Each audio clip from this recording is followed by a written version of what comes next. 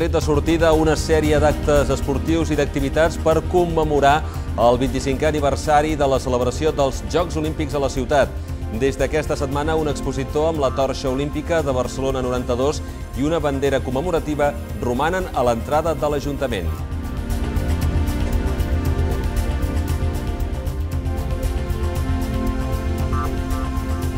Per cert, parlant de Jocs Olímpics, les especificacions tècniques de la torxa dels Jocs Olímpics de Rio de Janeiro es van provar a Terrassa. El centre de recerca Lapson va ser clau en la fabricació del funcionament de la torxa olímpica. I és que a Catalunya només aquest centre compta amb un túnel de vent que permet simular fortes ràfegues.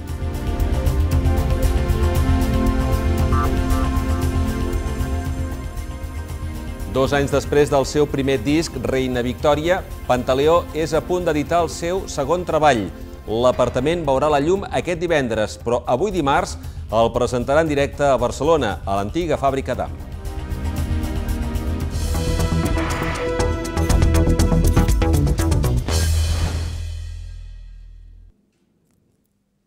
Què tal? Benvinguts, bona tarda. Terrassa celebra els 25 anys com a subseu olímpica. Eh, concretament eh, va ser l'any 1992 de la disciplina d'hoquei sobre herba. Des d'aquesta setmana, un expositor amb la torxa olímpica de Barcelona 92 i una bandera commemorativa estan situades a l'entrada de l'Ajuntament per recordar l'esdeveniment més important del darrer quart de segle.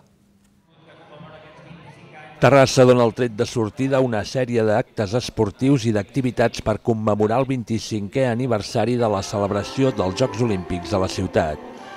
Des d'aquest dilluns, un expositor amb la torxa olímpica de Barcelona 92, quan Terrassa va ser subseu olímpica d'hoquei, i una bandera commemorativa romandran a l'entrada de l'Ajuntament per recordar aquest any l'esdeveniment més important que ha acollit la ciutat en els darrers 25 anys. I ara eh, acabem d'encetar un any en què farà 25 anys eh, d'aquell esdeveniment que va canviar la nostra ciutat i que va suposar, com deia, doncs, un gran impuls pel desenvolupament social, cultural, esportiu i econòmic de la nostra ciutat i del nostre país país. En definitiva, recordar els èxits de, dels jocs que van escriure un capítol en la història de la ciutat, unes vivències que van estar carregades d'emocions, que han passat a formar part de la memòria d'aquells que van tenir la, la sort de poder-ho veure i que ara ens toca a nosaltres doncs, transmetre-ho i compartir-ho. La comissió està treballant amb una sèrie d'objectius molt clars, bàsicament, com hem manifestat moltes vegades, el d'apropar al màxim el hockey a tots els terrassencs, els que el vivim dia a dia i els que no ho vivim, de manera, els que no ho viuen de manera tan directa, perquè, evidentment, eh, com molt bé ha dit l'alcalde, no podem oblidar que entre tots hem fet que aquesta sigui la ciutat més olímpica del món. L'acte marca l'inici d'un any que vol recuperar l'esperit olímpic i ha comptat amb la participació d'una trentena d'atletes olímpics, del Club Agara, del Club Deportiu Terrassa, l'Atlètic i el Línia 22. També han participat de la festa inaugural els bastoners de Terrassa i la batucada Terra Samba. Tal i com va passar amb la cavalcada de Reis, tots els actes de ciutat, com la pròxima mitja marató i la cursa Sant i Centelles, la Fira Modernista o la Festa Major, comptaran amb actes de record a l'olimpisme. El periodista Josep Cadalso traurà un llibre resum d'aquells dies a la ciutat. Els actes esportius més destacats tindran lloc el 10 de juny en partits commemoratius i de reconeixement als atletes olímpics, amb les seleccions masculina d'Argentina i la femenina de Nova Zelanda. I del 6 al 9 d'agost es disputarà el torneig Quatre Nacions d'hoquei femení i masculí amb les seleccions d'Espanya, d'Anglaterra, Holanda i Alemanya. També hi hauran d'altres activitats com dues taules rodones sobre l'olimpisme i els seus atletes o una exposició a la sala Soler i Palet sobre el canvi urbanístic de Terrassa arran dels Jocs Olímpics. No deixem les qüestions relacionades amb l'olimpisme perquè les especificacions tècniques de la torxa dels Jocs Olímpics de Rio de Janeiro es van provar a Terrassa. El laboratori especialitzat Lapson compta amb l'únic túnel de vent de Catalunya que permet simular fortes ràfegues i comprovar que la flama no s'apaga. L'Esteve Codina és professor de Mecànica de Fluids de l'Escola Superior d'Enginyeries Industrial, Aeroespacial i Audiovisual de Terrassa. Adiós, adiós, buenos días. Dirigeix el Laboratori de Sistemes Oleohidràulics i Pneumàtics dins la mateixa escola de l'UPC. El centre de recerca abarausat Lapson va ser clau en la fabricació del funcionament de la torxa olímpica dels Jocs de Rio de l'any passat.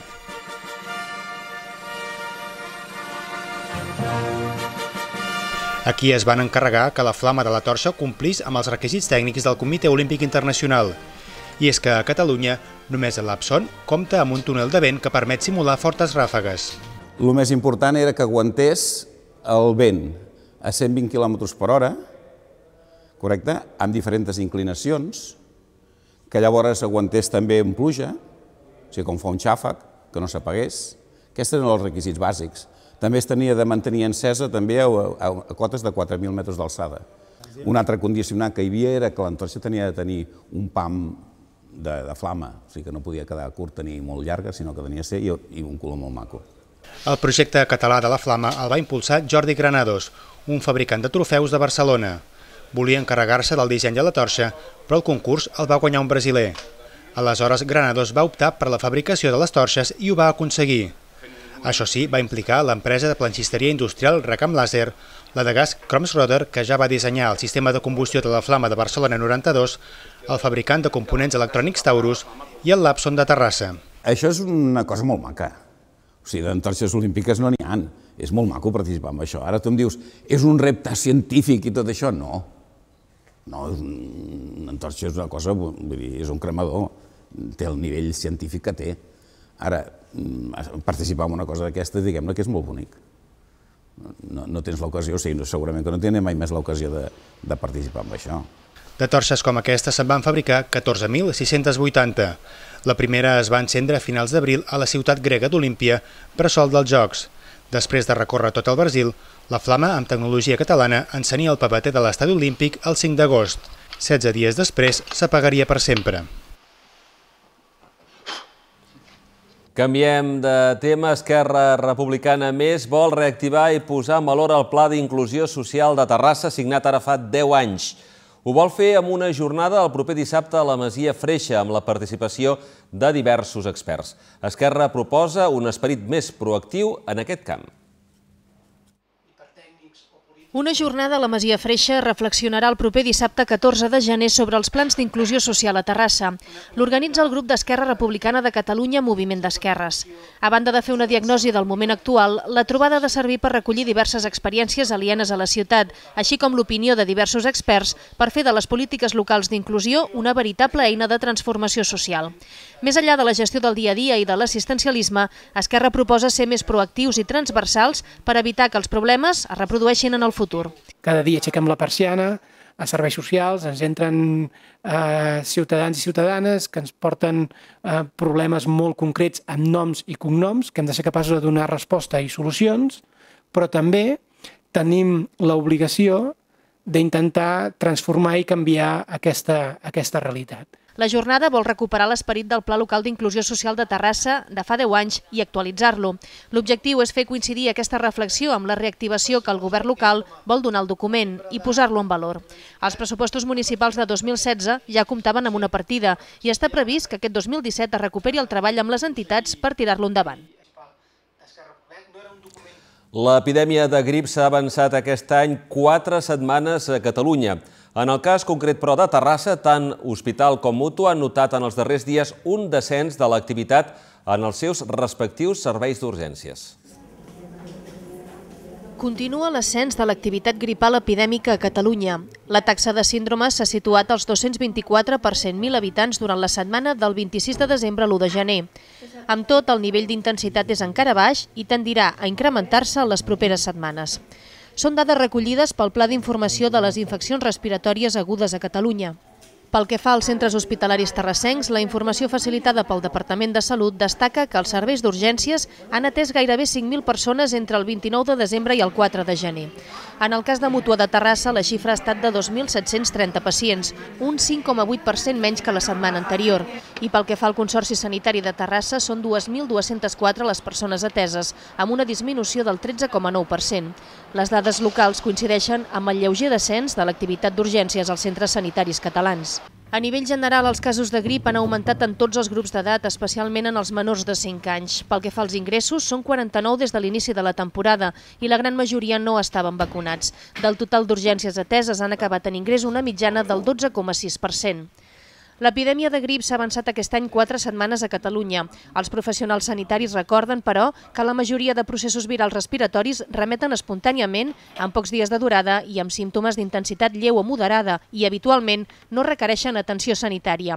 Si cal utilitzar un dispositiu assistencial, però, recomanen adreçar-se, en primer lloc, als centres d'atenció primària. I us parlem ara de la primera sessió d'un projecte que pretén fomentar l'activitat física entre la gent gran. Les sessions tenen una durada d'una hora i el punt de trobada és la Casa Bauman. De 10 a 11 del matí es fan diversos exercicis físics al Parc de Vallparadís i les activitats són gratuïtes. Realitzar activitat física regularment aporta grans beneficis per a la salut de les persones que la practiquen, la iniciativa AFIS és un projecte de voluntariat que treballa per fomentar l'activitat física entre el col·lectiu de gent gran de Terrassa. Aquest dimarts s'ha fet la primera sessió i el punt de trobada ha estat la Casa Bauman. Les activitats es fan un cop a la setmana i tenen una durada d'una hora. Els primers 30 minuts són per caminar pel Parc de Valparadís. A continuació es fa mitja hora d'exercici físic i moviments articulars. Les diferents activitats s'adapten a les necessitats de les persones que hi participen. L'objectiu d'aquest projecte és millorar la salut i l'aspecte físic, així com divertir-se i relacionar-se. Els organitzadors, el Marc Gutiérrez i l'Alex Astals, animen a la gent gran a sortir de casa per fer esport. A més, expressen els beneficis de fer activitat física a l'exterior. El primordial és que sortim al carrer i o sigui, ens socialitzem amb, amb tot l'espai de Terrassa i amb tota l'altra gent. Uh, tenim l'aire pur, que dintre d'un gimnàs és tancat i vulguis que no l'ambient és diferent, a la natura, l'observació de, de tota la nostra ciutat i socialitzar-nos entre, entre un grup potser més reduït però més familiar. Les activitats són cada dimarts a les 10 i són totalment gratuïtes. El punt de trobada és l'estació de ferrocarrils de Valparadís Universitat. Les persones interessades a sumar-s'hi poden apuntar-se al mateix moment i sense cap cost.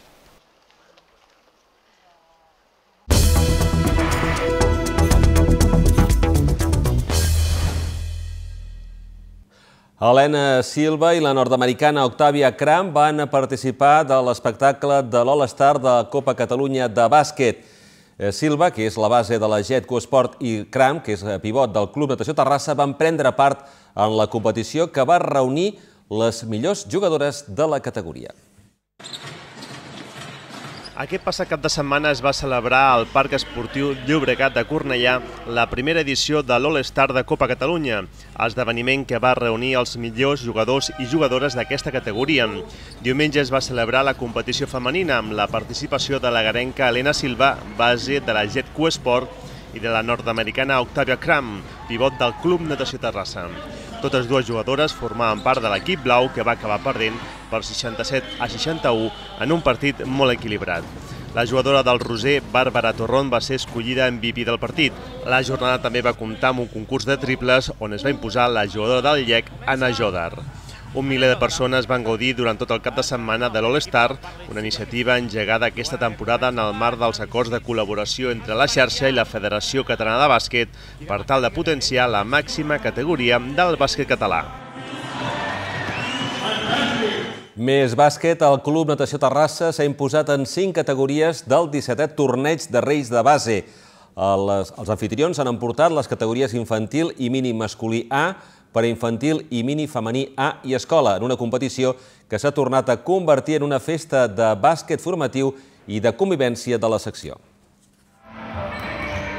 La secció de bàsquet del Club Natació Terrassa va organitzar aquest passat cap de setmana la 17a edició del torneig de Reis al pavelló del Pla del Bonaire, un esdeveniment que un any més es va convertir en una festa del bàsquet formatiu. La competició molt arrelada a les festes nadalenques va plegar més de 540 jugadors i jugadores d'entre 6 i 13 anys pertanyents a 48 equips de 20 clubs diferents de la província de Barcelona. A diferència d'altres edicions, hi va haver un canvi de format amb la celebració de la competició masculina dissabte i de la femenina diumenge. Els anfitrions van guanyar 5 de les 15 categories, infantil i mini masculià, preinfantil i mini femenià i la categoria escola. El Joventut de Badalona i el Sant Jordi de Rubí van adjudicar-se dues categories cadascun. Manresa, Sant Pere, Granollers, Matadepera, Bàsquet Pia Sabadell i Sagrada Família Claró van ser els altres vencedors imposant-se en una categoria. El torneig va anar més enllà de l'esperit competitiu dels partits i es va convertir també en una jornada de convivència de la secció. Nosaltres des de fa uns anys al campus d'estiu ens quedem a dormir al pavelló un dia entre setmana per fer una mica de campus night que li diem i des de fa un parell d'edicions vam traspassar-ho també aquí perquè una cosa que els nanos demanaven i la veritat és que fa molta, el que tu dius, fa molta pinya, fa que els nanos es coneguin, sobretot en diferents categories que a vegades no es veuen, a vegades entrenen dies diferents, en hores diferents, i llavors es munta un, un 3x3 nocturn, jocs de nit, i llavors dormen al pavelló, llavors eh, fa que tot, tot, tot es, es, es concentri més i sobretot tingui molta vida el torneig durant tot el cap de setmana. No? La competició va incloure dos amistosos dels primers equips masculí i femení del Club Natació Terrassa en derrotes contra la Unió Esportiva Mataró B i davant el Sant Nicolau, respectivament. No deixem l'esport de la cistella perquè, aprofitant que no hi havia competició oficial aquest passat cap de setmana, molts clubs van organitzar activitats paral·leles. És el cas de la Joventut Esportiva Terrassa, que durant diumenge al matí va dur a terme al pavelló de Can Jofresa un torneig 3x3 amb la participació de 40 equips, tant masculins, femenins com mixtos. Van prendre part en aquesta competició nois i noies des de la categoria mini fins a la sènior, així com d'altres que ja s'han retirat d'aquest esport i que van integrar la categoria de veterans. No només van competir jugadores de la JET, sinó també jugadors i jugadores procedents d'altres clubs de la ciutat, com l'Esfèric, el Sant Pere i el Club Natació Terrassa.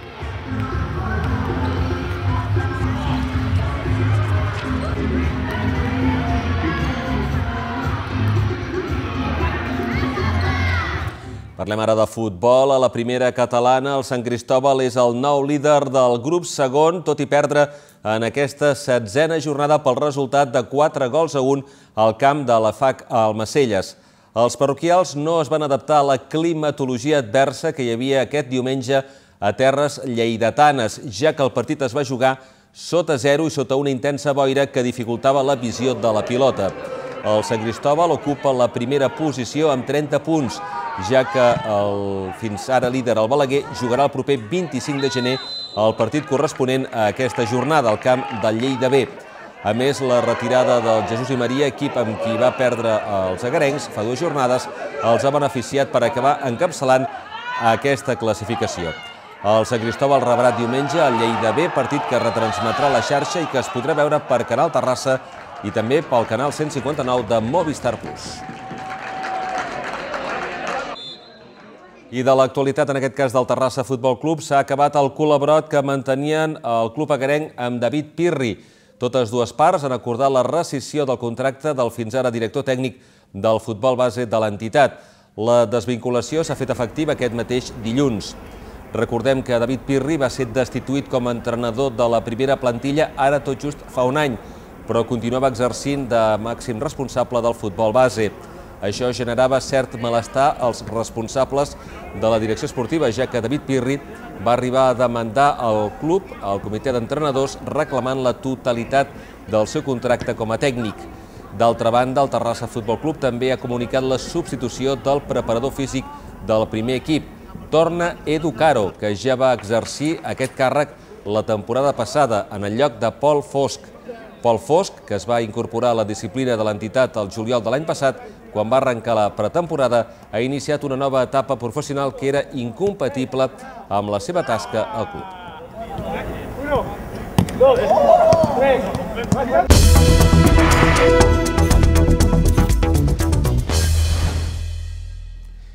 I acabem amb música. Dos anys després del seu primer treball, titulat Reina Victòria, Pantaleó és a punt d'editar el seu segon treball.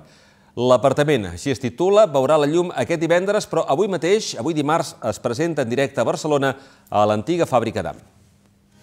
Amb prou feines dos anys després del seu primer disc, Reina Victòria, Pantaleó és a punt d'editar el seu segon treball.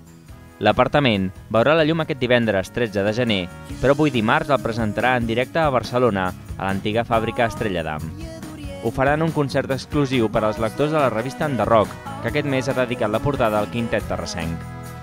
Es tracta de la primera edició de l'Enderroc Sona i també hi participarà Coet, grup de Sant Boi que presentarà el seu primer llarg, Passió B.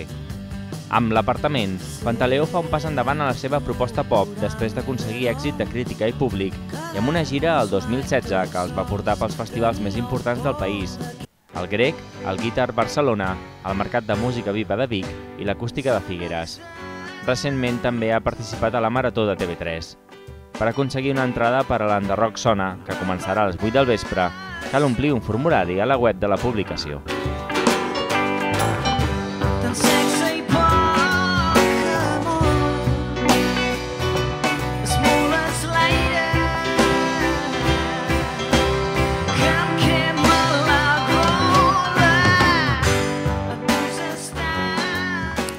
Doncs molta sort a Pantaleó amb aquest segon disc, amb aquest segon treball. Ho deixem aquí, acomiadem l'informatiu al dia. Gràcies per fer-nos costat durant tota aquesta estona. Tornem demà, bona tarda.